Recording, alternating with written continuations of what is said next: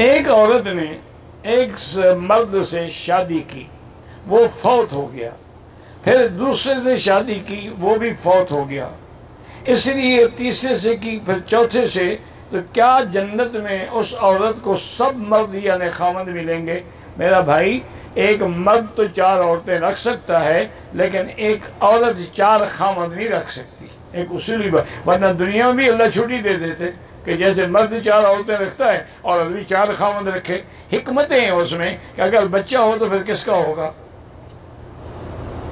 اسی لیے یاد رکھیں کہ جنت میں بھی وہ عورت اسی خامد کو ملے گی جس کے نکاح میں فوت ہوگی۔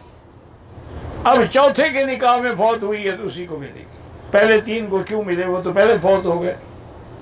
بعض علماء فرماتے ہیں انہوں نے بھی روایت کا سہارا لیا ہے کہ اس کو اختیار دیا جائے گا کہ ان میں سے آپ کس کو چنتی ہیں۔ وہ جس کو پسند کرے گی اسی کو حوالے کی لیکن اصل قول یہی ہے کہ جس کے نکاح میں فوت ہوگی اسی کی بیوی بنے گی۔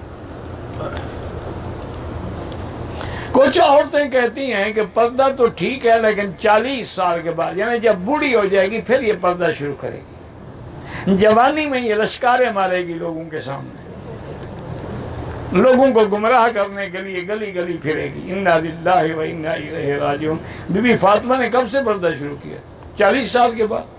بی بی عائشہ نے کب سے پردہ شروع کیا؟ چالیس سال کے بعد۔ اس کی تو عمر ہی کل اٹھارہ سال دی جب حضور فوت ہوئے ہیں۔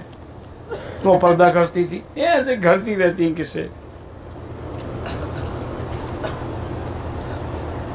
حیض کی حالت میں عورتوں کو تکلیف ہوتی ہے۔ یہ ایک یعنی اللہ کی طرف سے لکھی ہوئی بات ہے میری بیٹی۔